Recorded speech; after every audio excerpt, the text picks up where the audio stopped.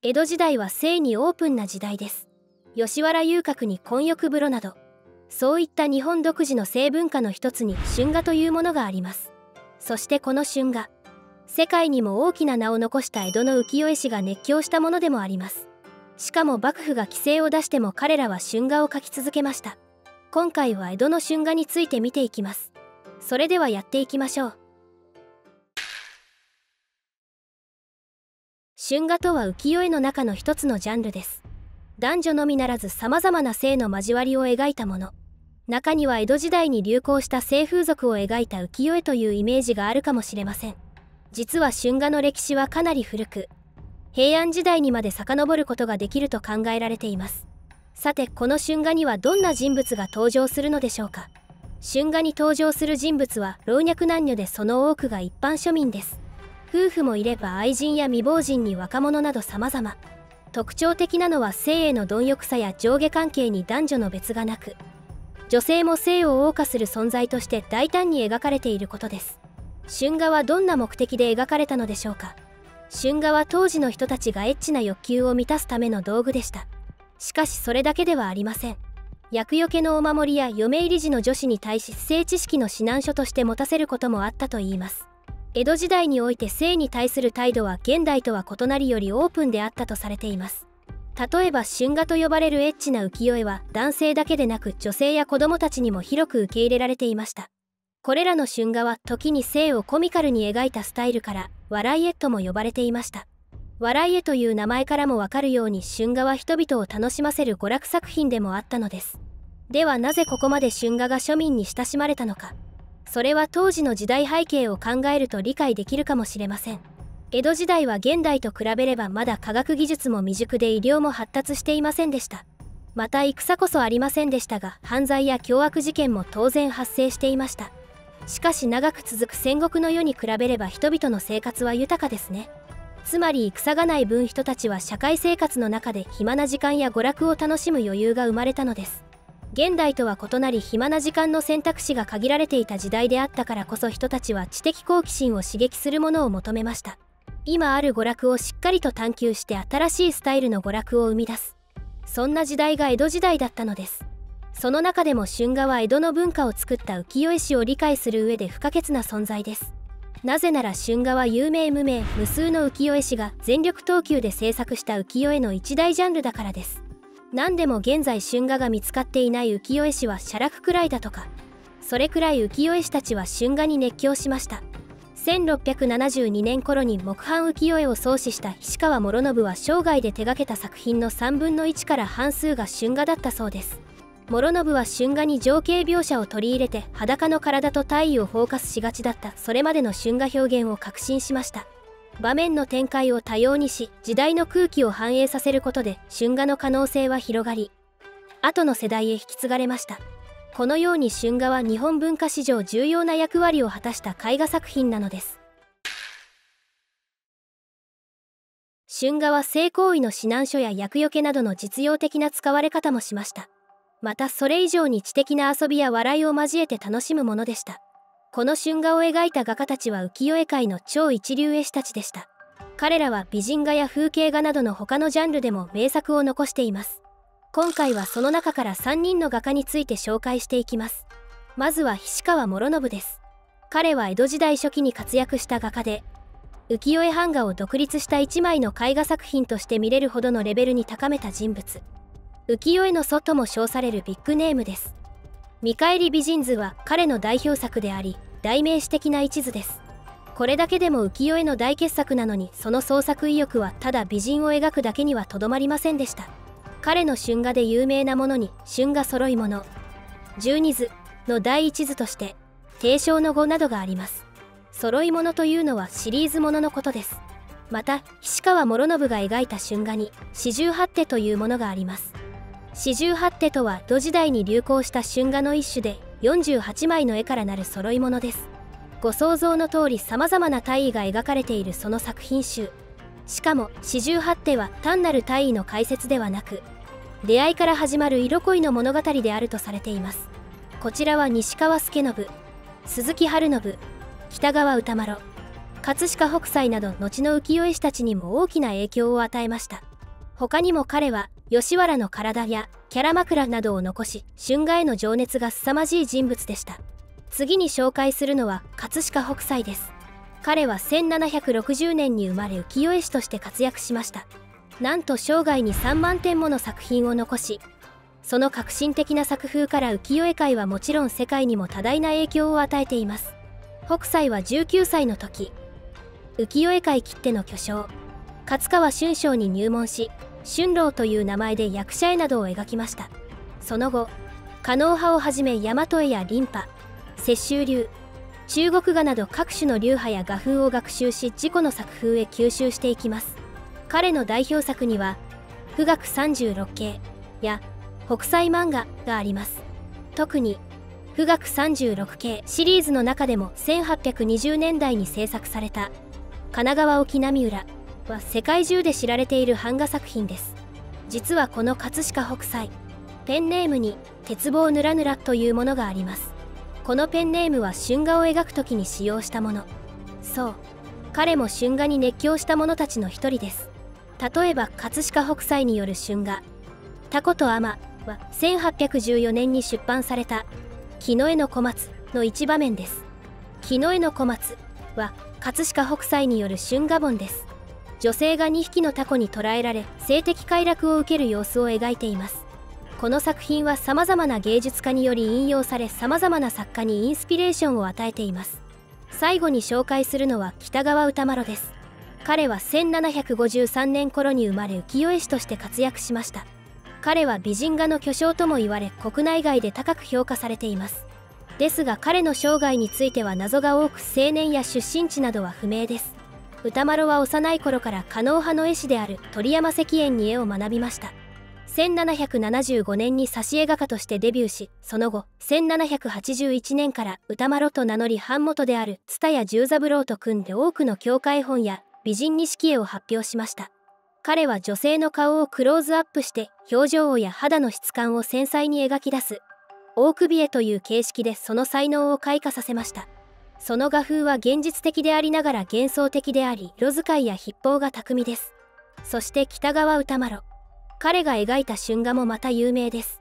歌丸の春画には「願いの糸口」という作品があります。この作品は絵に文が添えられておりより楽しめる浮世絵春画です。例えば一つの絵では冬の茶屋で振袖芸者と若い衆がエッチなことをしています。男が「お前が一番の女だよ」と言うと女がお前と比べられる男はとてもいないよと答えるというようなセリフです。歌丸は美人画で最高峰と称されるほど有名です。庶民たちは一体どのような感情でこの絵を見ていたのでしょうか。このように浮世絵師は並々ならぬ情熱を捧げて春画を描きました。しかしこうした熱狂に水を差す出来事が起こります。江戸時代幕府が何度も贅沢禁止令を出していたのです。贅沢禁止令とは贅沢な生活や文化を禁止して倹約を強制する法令です。幕府は身分秩序や財政を維持するために贅沢禁止令を出しましたが庶民の生活や娯楽に大きな影響を与えました。特に厳しかったのが天保の改革と呼ばれる1841年から1843年にかけて行われた改革です。老中水野忠国が主導して行ったこの幕政改革。享保。官制の改革を手本に財政緊縮。経済統制や幕府権威の増強も図りました。他にもこの改革では歌舞伎や寄席などの庶民の娯楽に制限がかけられました。芝居小屋は江戸郊外。浅草へ移転させられ寄席は閉鎖されます。また歌舞伎役者や人情本作家なども処罰されます。そして浮世絵もまた贅沢禁止の対象になりました。歌舞伎役者や遊女や芸者などの美人画を描くことが禁止されたのです。もちろん春画も対象です。春画は性的な主題を扱った浮世絵の一種。歌舞伎役者絵とは歌舞伎役者を描いた浮世絵で役者の姿や演技を描いたものです。美人画は遊女や芸者などの美しい女性を描いた浮世絵でしばしば風景画としても描かれました。これらの浮世絵は庶民に人気がありましたが幕府には目障りだったようです。幕府は浮世絵が身分秩序や風紀を乱すと考えていました。しかし浮世絵師たちも幕府の禁止令に従うだけではありません。彼らはさまざまな工夫を凝らして規制を回避しようとしました。それも皮肉たっぷりに。例えば歌川国広は源来光館土雲妖怪をなす図で源頼光の土雲退治を描いているように見せかけています。ですが実は天保の改革に対する皮肉です。右奥に見える人物が頼光ではなく将軍。徳川家吉だと言われていて土雲の妖術に苦しめられている。それを気にも留めていない人物たちが源頼光と配下の四天王たちと思わせていますが実は天保の改革の中心人物老中水野忠国たちです。そして絵に描かれている妖怪たちは改革によって禁止された物事が妖怪化しています。また歌川国広は猫の百面相という作品を描きましたが実は役者の似顔絵です。役者絵が描けないから猫にしてしまえばいいという発想ですね。国吉はこんな感じの作品をたくさん描いています。他にも半字絵というものがあります。半字絵とは絵で表した謎解きのことです。江戸時代末期に庶民の間で流行しました。例えば北川歌麿の作品「孔明美人六花線辰巳露光」は一見すると禁止されていた芸者の美人画ですが実は芸者の名前を絵に置き換えています。右上の小窓の竜。蛇。櫓線香で辰巳露光と読ませています。辰巳露光は芸者の名前です。これ以外にも美人名を示す漢字絵はあります。長二束と矢で何はや沖と田浦で起きたなど。名前を出していないのでこれは美人画じゃないですよ。ということでしょうか。このように浮世絵師たちは天保の改革にガチンコで挑みました。奉行所から呼び出されて注意されたり罰金刑などを受けたりした絵師も少なくありませんでした。特に歌川国広は反骨精神あふれる絵師で何度も注意されたとか。しかし江戸時代の絵師たちは禁止令に屈せず浮世絵を描き続けました。2年間ギチギチに締め上げられた大衆文化の担い手浮世絵師たちの鮮やかな反撃作品。この改革禁令がどんどんと出されて土庶民は大打撃を受けます。ですが結局命令が遵守されたのは直後のみで時間が経つにつれて都市でも農村でも違反するものが相次いだようです。こうした反発の結果なのかわずか2年で主導者の老中水野忠国は失脚するのです。このように春画は面白い考えやおかしなことがたくさん入っている日本だけのすごい絵です。江戸の庶民は春画を見て性のことを学んだり楽しんだりしていました。春画は江戸時代に庶民の間で大流行したものです。江戸時代は人口が増えて都市化が進みました。そして人たちは性に対してオープンで自由な感覚を持っていました。春画は手で描いた一点物の絵や版木で印刷したたくさんの絵があります。版木で印刷した絵は貸本屋で借りることができました。貸本屋では笑い絵や風流炎色マネーモンというおかしな話も借りることができました。風流炎色マネーモンは演書エッチなことをする人々の会話や行動を面白おかしく書いた話です。これらの絵や話は人々に笑いや楽しみを与えるだけでなく性の知識や技術も教えてくれました。しかし明治時代になると西洋文化の影響で春画が禁止されるようになりました。西洋文化では性は恥ずかしいものや悪いものと考えられていたのです。そのため日本でも性に対する恥ずかしさや罪悪感が生まれました。明治初期には条例で春画を禁止します。その後も刑法175条でわいせつ物反布罪の対象にならないように春画に規制が入れられることもありました。しかし戦後から現代にかけて春画が美術として再評価されます。それも日本だけではありません。海外でも人気になりました。葛飾北斎の「天とタコ」です。天とタコは天がタコに絡まれている絵です。この絵はヨーロッパに行くととても人気になりました。アマがどんな気持ちなのか想像してドキドキしたり不思議な世界に引き込まれたのです。この絵はピカソやゴッホなどの有名な芸術家にも影響を与えました。春画は日本独自の感性や文化を反映したものです。春画では老若男女が性を楽しんでいます。また性と笑いが同居することも特徴です。春画では死や病気や暴力などの暗い面も描かれますがそれらも笑いに変えています。これらの特徴は古事記や万葉集など日本古来からある文化遺産とも関連しています。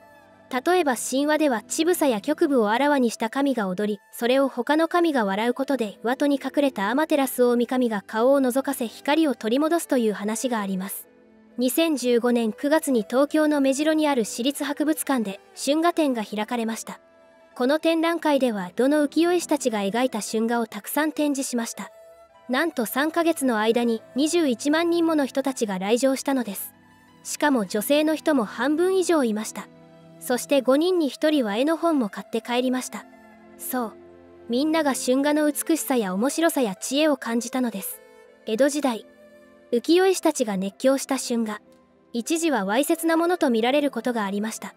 ですがその評価は年々高まっています。もはや春画は日本の文化遺産。そう言っても過言ではないのでしょう。